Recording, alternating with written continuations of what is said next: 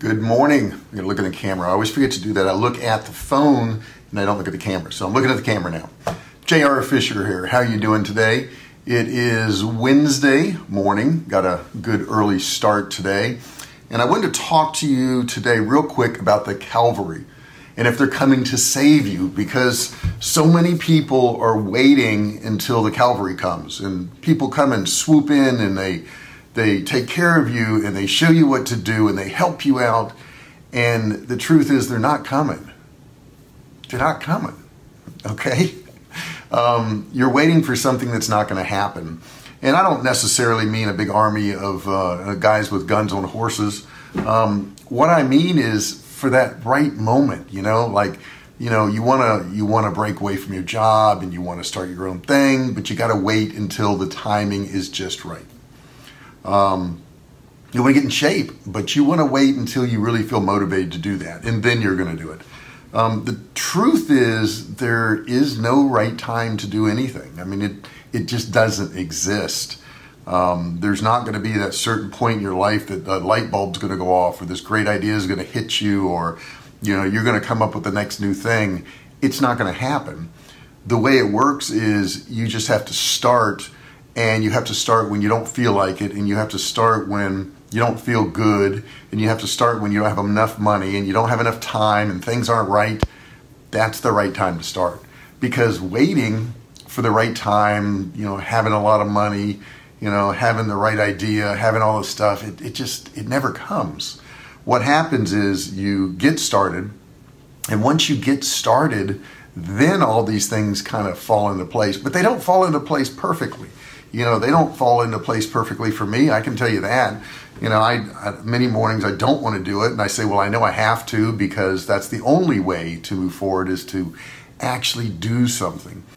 You can't wait, guys. It's just you can't wait any longer. I was on I was on the phone yesterday with uh, a coaching client, and I do I do some private coaching. I have you know a small group of people that you know I I get on the phone with, and we we set out action plans, and I assign homework, and they do this stuff and then every couple weeks we get on the phone again. And during during that two week period we'll email back and forth and we'll brainstorm and try to figure out what's going to work for them and you know the one thing i know about these people is these people don't want to wait okay? These these people actually hire me to say hey i want to do something right now. You know my business isn't where it should be or my business hasn't started even yet.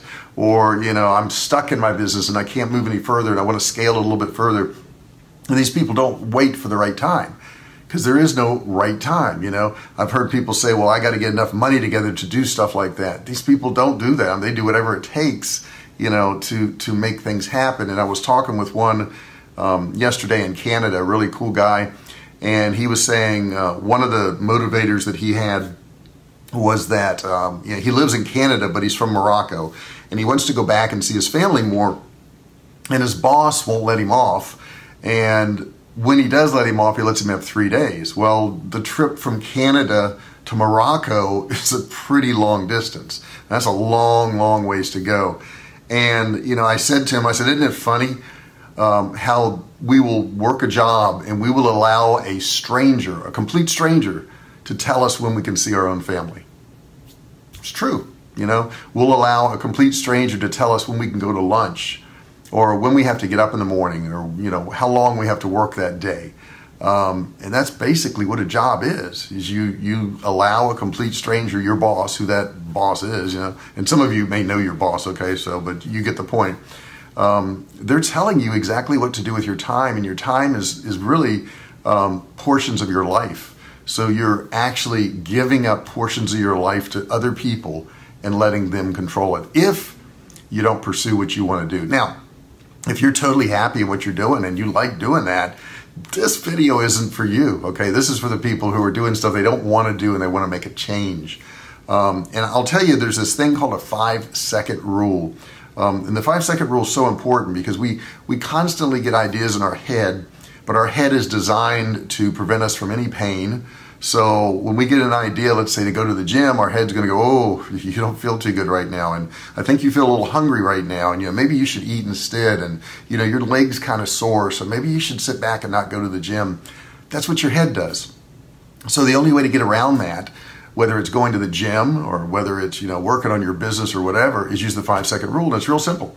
You count backwards from five, and then you just do whatever it was that your mind said, hey, we should do this. Because your mind's constantly telling you things you should do, and then when you go to act upon it, it's coming up with excuses why you shouldn't do it.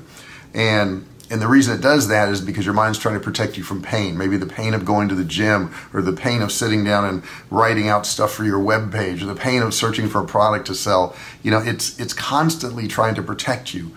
And it's it's not protecting you in a good way. You know, use that rule. Five seconds. Five, four, three, two, one, and then just proceed and do the things that you know you need to do. Because, you know, it's like I said in the beginning, the Calvary isn't coming if you're sitting around and you're waiting for you, you know, I hear people say, "Well, you know what? If somebody just comes along and motivates me, man, I'm gonna I'm gonna make it happen." Well, what if they don't show up? You know, what if what if that motivational guru isn't there for you today? What happens on that day when you don't feel well and you don't feel like doing stuff? You know, I looked over at the clock today and it was 6:03, and I thought, 6:03, what should I do?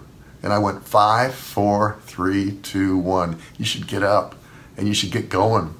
And you know, it it sometimes is more difficult being an entrepreneur. If you're already an entrepreneur, you know this that you don't have to get up. I don't have to get up, okay? I don't have to shave. I don't have to shower. I could just you know sit on the couch all day long if I wanted to. I got some money coming in. I could do that, but I didn't. So I got up and got cleaned up and went to my favorite Starbucks and started working and you know worked on my book some, and then I worked on a meeting I've got with a coaching client this afternoon uh, I worked on the webinar that I'm going to be uh, um, presenting on Friday. You know, those those webinars I do on Friday. I know a lot of you guys listen to those. Those don't just happen. Okay, there's a, there's a lot of work that goes into those webinars. There's planning and there's information and there's gathering and there's powerpoints and there's videos and and that's something I do for free for you. So take advantage of it. And like I said, I'm going to put in the link um, the link to that actual webinar so you can click on it and you can join, but it will be filled. It's all about free plus shipping and how to make money doing that. And that sounds crazy, you know, giving away products and making money, but we, we certainly do that. So I just want you to think about that today. Don't wait for the Calvary.